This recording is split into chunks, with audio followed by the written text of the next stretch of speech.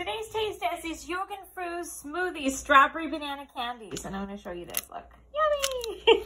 this is from our wonderful friend Shannon. Look, a little smiley face. Isn't that cute?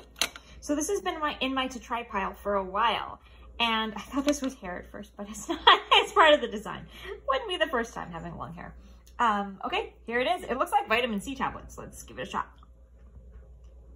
It's good. Wow, that's super tasty. It really does taste like strawberry banana. Maybe you're not supposed to crunch them, but yeah. mm.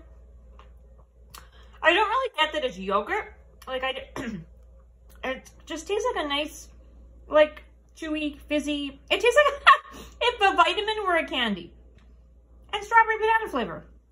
It's delicious. I don't really taste the yogurt, but I don't care because I love it. Thank you, Shannon. It's really yummy and it does taste like strawberry banana. So good.